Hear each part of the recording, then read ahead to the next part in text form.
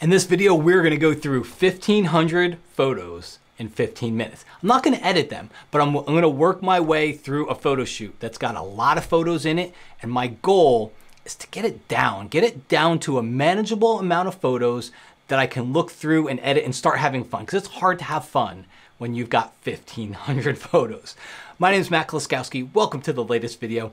Um, so I got to give a little backstory here. This is a wildlife photo shoot, but the techniques you're going to see could work for a landscape or travel photo shoot as well. So don't think it's just wildlife. Last week I got to go on an eagle photo tour. I live in Tampa, Florida, about two hours north of me. There's a gentleman that runs these tours. I'll put the link in the description. His name's Dick. He's not just a tour guide, he's an amazing photographer. He knows the eagles, the patterns, the lake, the winds, the sun, the light, all this stuff. And how to keep a safe distance so you're respectful of the wildlife as well. And he makes etched glasses. So he made my uh, my logo on a glass here. I'm to put that to the side so I don't get tempted to keep reaching for it. So anyway, so I liked it so much. It's a four hour uh, four hour tour. I liked it so much I went back the next day, which is why I have 2,000, almost 2,000. I said 1,515 minutes. It sounds better than 2,000 in 15 minutes here. So keep in mind it's 15 minutes-ish. I'm gonna try to give you a, a, a quick recap version because it'll get very repetitive if I if I do the same thing over and over again. So I'm gonna try to give you how how I got through this, and I'm narrating it. So imagine if you're just doing it yourself and you're not talking, it would actually happen very very very very quickly. You'd get through them a lot faster, and that's the point. You want to start having fun with it. Okay, so let's jump over into Lightroom. I'll share my screen with you here. So a couple of things help make this happen. The first thing is we're in the library module. When you do your import, when you import into Lightroom Classic, you wanna make sure you choose embedded and sidecar under file handling, okay? You wanna make sure you choose that option. That will allow you, while you're in the library module, that will allow you to double click a photo, hit the right arrow key, and you can, you can start looking through these, it's like a video, right? You can start looking through these photos super, super fast. You don't want to do it in the develop module because the develop module has to build a preview and that's where a lot of people go wrong. That's why they think Lightroom's slow. Um, Lightroom should not be slow for you by this point. This is, this is a five plus year old computer. Um, my laptop's even slower and it's still, I get the same response from this. If, if Lightroom is slow for you, Adobe has handled this and there's, there's just a couple things you have to know, but you're doing something wrong if Lightroom is still really slow for you, okay? So that's the big thing. Library module is where you want to be, and you want to make sure when you import, you do embedded in Sidecar, and no, you cannot go back to previous imports and do that, okay? So here's what we're going to do. The first thing is, is we, we want to get, we want to come to grips with a couple of keyboard shortcuts. The big one is going to be X for reject. All right. We want to reject photos. And I can look at a group of photos and tell the bird is, this was the beginning of the shoot. I'm seeing these eagles flying above. I can tell it's just too small in the frame. It's not going to be what I want. So I start up here.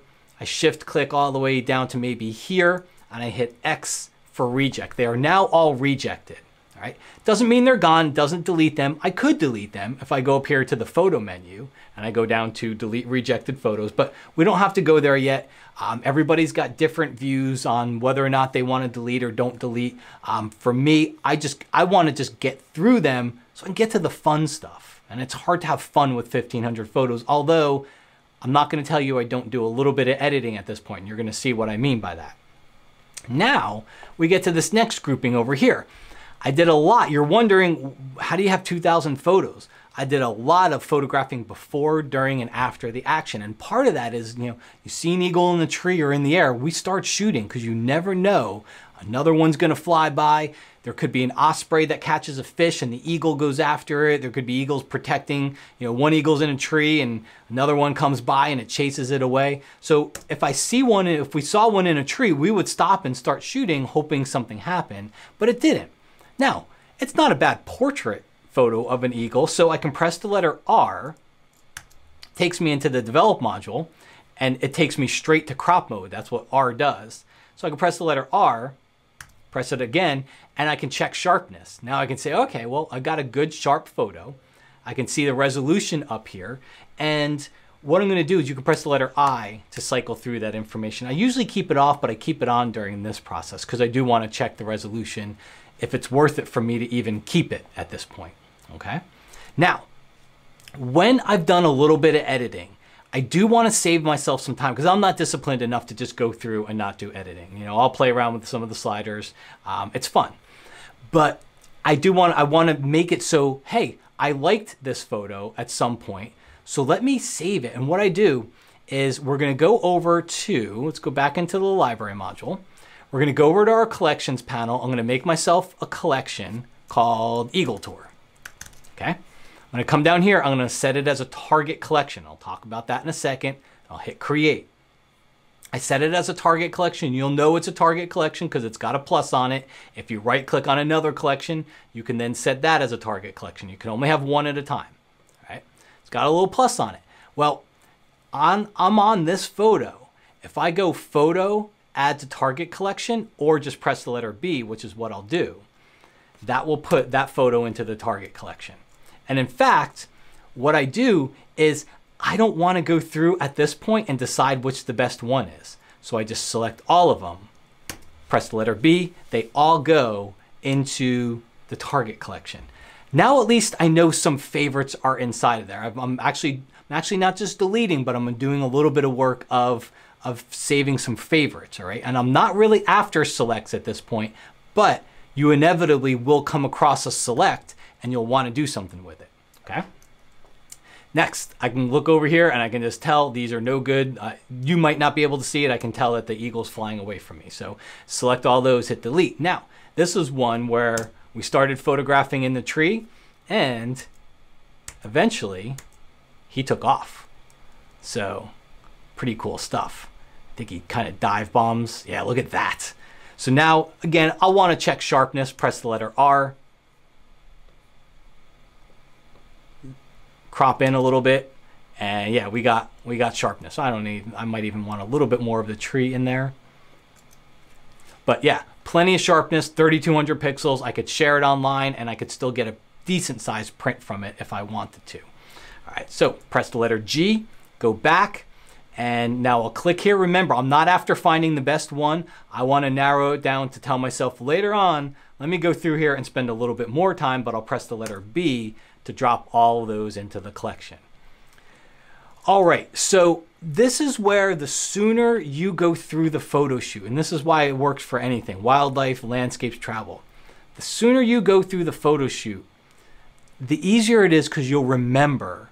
And I know I've got a I've got a few close to full frame shots of the Eagles. So when I see all of these non full frame shots. When I see this, I just go through guys and they're gone. They're gone. There's no reason for me to keep them.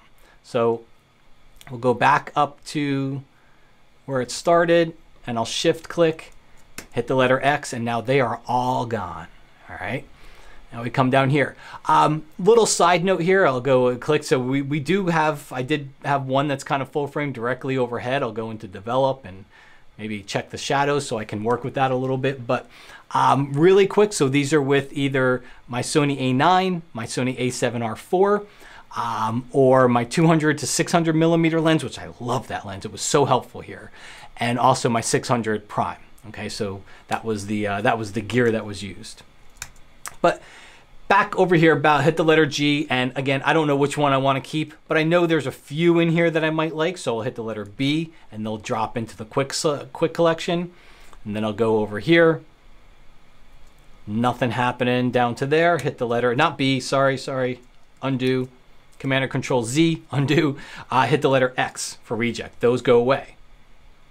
Now we got the eagle coming in. You can see he's coming in for a catch all right so at that point, I know this grouping is something I'll want to inspect later. So I'll go ahead and select it.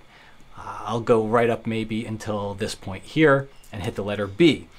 Now, I did keep shooting and I kept, there's probably another 100 frames after this one that I'm just gonna go through and get rid of all of them. Um, and after I do this, I'm really gonna start speeding through a lot of this. But there's another 100 frames through there.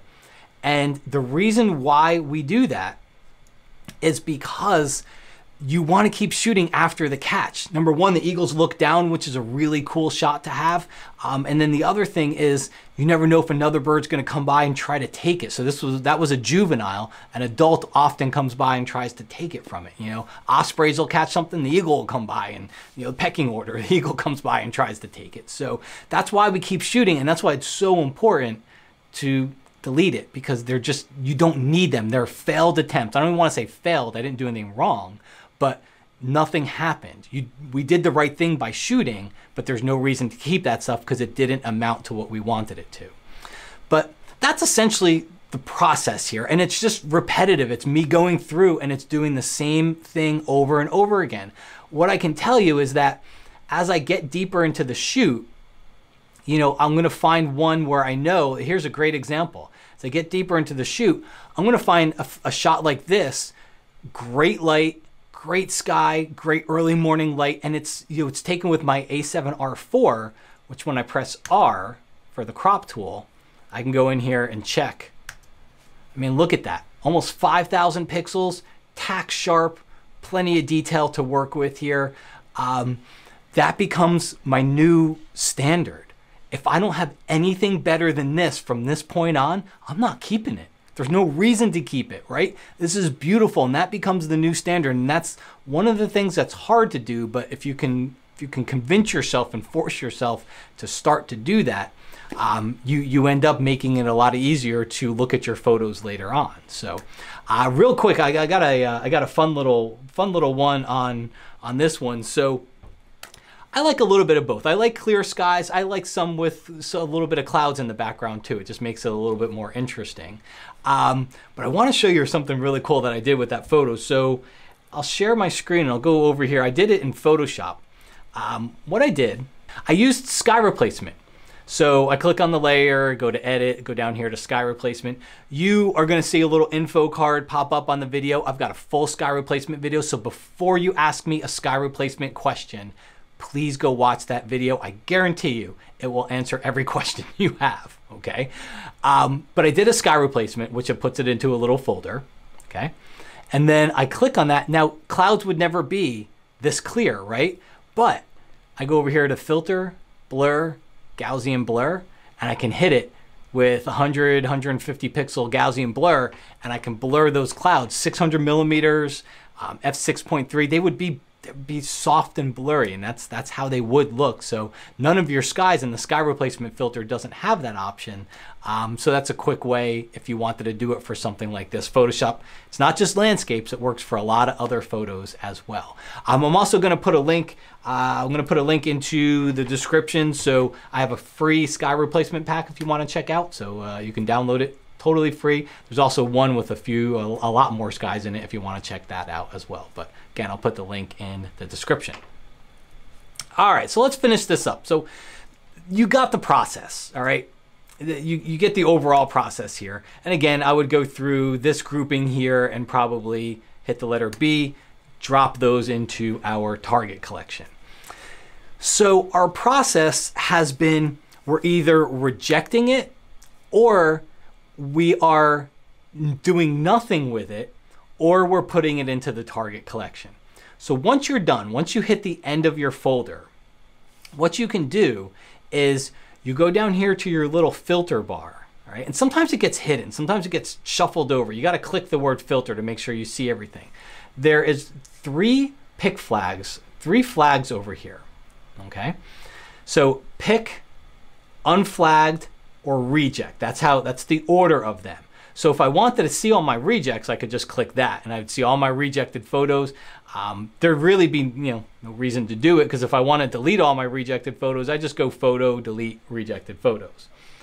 But what I can also do is I can see my unflagged photos. So when you imagine when you hit the end of this this process of your folder, you're either going to have rejected photos, okay, where you pressed X, or you're gonna the rest of them are gonna be unflagged. So what I could do now is click the unflagged filter, and that's gonna show me all of my unflagged photos. Now, this is again, I didn't go through the whole photo shoot. If you went through, there's hopefully many, many less here. But what you do is you shift click to select all of them and then you can just drag them right over into your collection. Okay, now that collection contains all the photos that you want from this photo shoot. You may still have work to do, but if you follow what I was talking about earlier on, if you follow follow that process, that you have much less work to do, okay? Now you can start having fun. There might still be 200 photos in there and maybe you wanna try to get it down to 20 or 30, but now you can start having a little bit of fun. You can start going through the really good ones. You can start doing some quick edits to them and then really going through and finding those photos. And the other thing that you can do is if you go into that collection, so right now, let me go click on my Eagle collection. What I would do is if I want to get rid of photos, all I have to do is just select them and hit delete. It doesn't delete them from the disk, it just deletes them from the collection. So now you can really start to pare your collection down more and more by deleting from that that main collection and now you know as you go through those photos you'll have less and less photos in the collection until you're done where that collection is just going to be a grouping of your selects of your favorite photos from that photo shoot Okay, so I hope that helped out. There's a, a lot of concepts in there, um, and there's a lot of tips in there. But I think if you can, we we're all guilty of it. I can't tell you I do this religiously as much as I should, but eventually I sit down and I have to do it because my folders get so big uh, my, that I, you know, it's just too many photos to go through. So I hope that helped you out. Uh, again, I'll put the links in the description if you want to download that free Sky Pack as well as a link to uh, the tour that I went on there. Say hi to Dick if you do go on a tour with me. He's a great guy, great photographer,